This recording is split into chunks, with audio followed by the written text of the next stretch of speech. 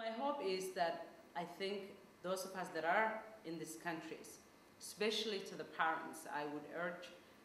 you to talk to your children and to let them know,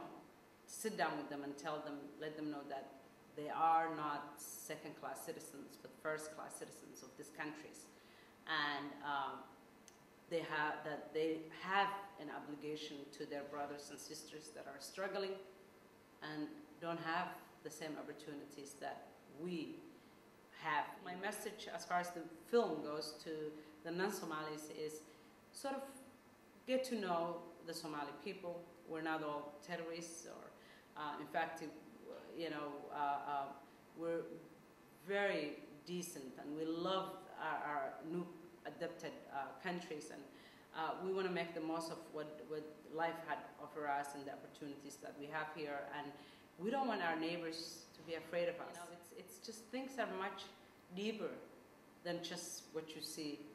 the outside and, and, and at the end you will uh, find that we are more alike than we are unlike